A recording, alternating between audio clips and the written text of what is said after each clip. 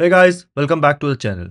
So, we are going to start a new Python for Data Science series where we are going to practice and solve interview questions from top tech companies like Facebook, Amazon, Airbnb, Netflix, and Google. That is FAANG companies, or as we now know it as MAANG companies. If you are preparing for data engineer, data scientist, BI analyst, data analyst, ML engineer, or software engineer roles, we are going to cover all the aspects. In total, I can see there are about 250 odd questions in Google, Meta, Apple, Amazon, and Netflix.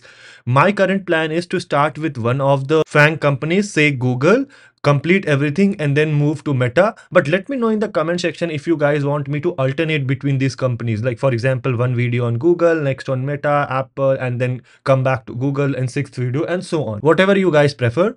So yeah Let's learn Python for data science using FAANG interview questions. So in this video, we are going to solve this question on StrataScratch regarding finding the top 10 hotels with highest ratings. This question has been asked in Google, Airbnb, Expedia interviews. And if you are preparing for data engineer, data scientist, BI analyst, data analyst or ML engineer role, this is a good question to build your concept. So the question reads, find the top 10 hotels with the highest ratings output the hotel name along with the corresponding average score, sort the records based on average score in descending order. Okay, so basically our input is a pandas data frame called hotel reviews and output is a pandas data frame which looks like this, the hotel name as well as the average score. And if you just look at this output, this is actually not sorted, but the question says that it should be sorted in descending order. So there might be some, you know, typing error for this, but okay, let's review this hotel reviews table. Here we have a number number of different columns called hotel address, additional number of scoring, review date.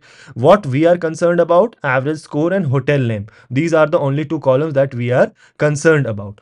Okay, so now what we need to basically do in this case is we can use the average score column to basically rank these different hotels in descending order of the average score. So basically highest average score gets rank 1 and then next highest gets rank 2 and so on. Now ranking can be done using various methods, right? If you have followed my SQL series, there were multiple ways of ranking. So there was something called row number, then there is a rank function, then there is a dense rank function, etc. The main difference between rank and dense rank is how they deal with the ties or identical values in a column that you are using to rank. So in this case, we need to use something that is similar to the rank function in SQL, that is minimum ranking. Okay, so let's start solving this. So basically what we need to do is from in this uh, data frame called hotel reviews, let's create, so hotel reviews, let me create a column called rank right so let me create a column called rank and basically what we are going to do is we need to take the hotel reviews uh, data frame and then take the average score column and then basically use the dot rank method. So dot rank the method should be like how we are going to rank it is something called minimum and ascending should be false. So ascending equal to false means basically start rank 1 with the highest average score. Once this column is created let's return the hotel reviews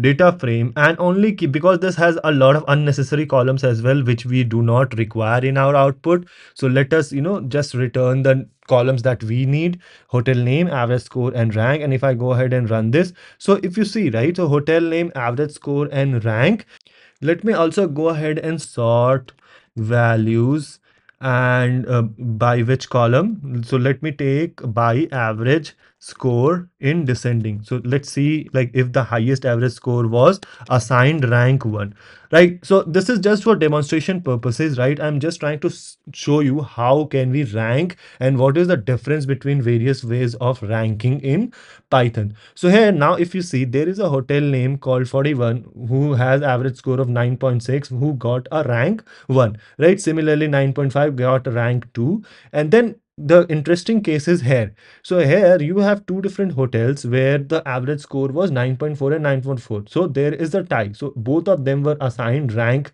3 but then the next one 9.3 you might be thinking that okay this should be assigned rank 4 but it actually skips. So basically this is exactly same as how the rank function ranks in SQL so here basically if there is a tie it will skip one rank. If there are three rows with the same value. So it is all everything is assigned 7 7 7 and then the next one should be assigned you skip 2. So you skip 8 and 9 and finally this is assigned rank 10. So you see this is the way of doing it. Now let me just show why we should not go ahead and do this with dense method. So here I am just you know uh, renaming this to rank using minimum method. If I just copy this right. So let me just copy this and paste it again rank dense and if I just change this to dense and in my output if I you know keep rank M as well as keep rank D right let me now run this. Okay so if you look at it right so here we saw that okay minimum method ranks this as 3 and 3 but dense method never skips. So even if there are ties dense method never skips the rank. So in this case if you use the dense method you are actually going to have a lot more hotels than what you are going to have in the minimum method. Because if you are asked to only keep right so here the question says the top 10 hotels right? So if you are only going to keep top 10 basically rank is less than equal to 10 your cutoff would be here based on minimum method. But if you use the dense method your cutoff is going to be way below and you are going to have all these hotels right? So La st james westcourt etc also which is not what we want. So that is why you know this is what i just wanted to demonstrate you that which method should be used to rank okay so now once i'm done with this demonstration so we know that we need to use this minimum method so let me just remove this right this was just for demonstration purposes and rank let's keep rank m as rank m and then we need to only keep the top 10 hotels. So basically we need to perform a boolean indexing. So what we can do is hotel reviews, then hotel reviews of column rank M rank minimum it should be less than equal to 10 right? So this will keep only those rows where rank is less than equal to 10 and then what we can do is we can cut this entire thing. So maybe let's just cut this entire thing and paste it here. What does this basically represents? That once you keep only those rows where rank is less than 10 only return me the hotel name and average score. We do not need rank m and rank d. For one pass let me just you know keep the rank m so that we can see that okay we are keeping the correct amount of rows. And then let's sort this by average score in ascending in false. Let me go ahead and run this. So now if you look at it we have these many hotels in our output right. So now we do not in our output we do not need the rank method. We only need the hotel name and average score. Uh, I think this is not sorted, but let me just try and run this. And let me go ahead and check this, right? So this looks good, but let's see if actually sorting was required or not. Because here you have sorting is required but in the output you do not see it right? So 9.4 then 9.1 9.2 let me go ahead and check this. So actually i think this is good because everything is green. So yeah this is how we do it so what we basically did was we created a column called rank based on the minimum method. I also showed you what is the difference between minimum method and the dense method of ranking. And then once we had the ranks, we only kept those rows where rank is less than equal to 10 because that is what the question asked us to do. And in our final output, we only need two different columns out of the several that are given in the hotel reviews data frame.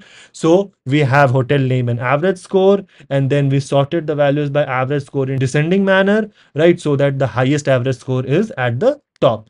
So this is how we do it. Let me know if there is a better way or more efficient way to solve this question. Let the solution be in the comment section below and I'll see you guys in the next video.